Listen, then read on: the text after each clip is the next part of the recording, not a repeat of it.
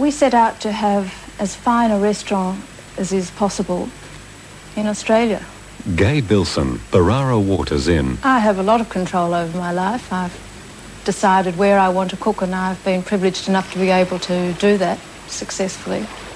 There's no such thing as an Australian cuisine, but at last now we're using our raw produce, which is just terrific, and I think that's a real breakthrough.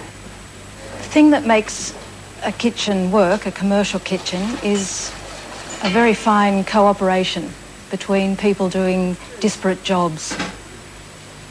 I use gas because it does exactly what I want it to do. I have complete control over how fast I cook something, how slowly I cook something, for how long I want something to cook. The ovens work successfully. It works. Gas cooking, you're better off with natural gas.